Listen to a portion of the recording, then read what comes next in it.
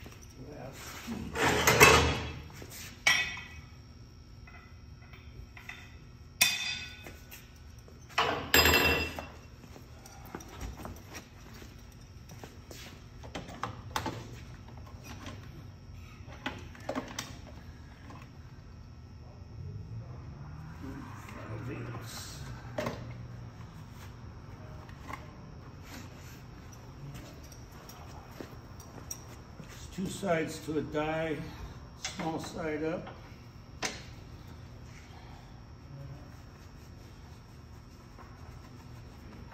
Put your punch in.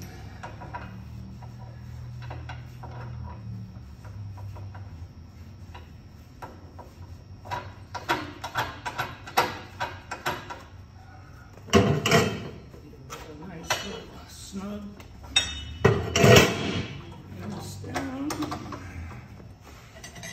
You want to set this pretty much so if you put a center punch into here, the divot on the punch is sticking out so you can get that center punch.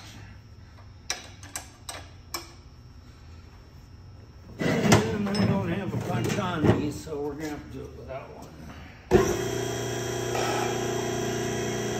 Normally you oil it.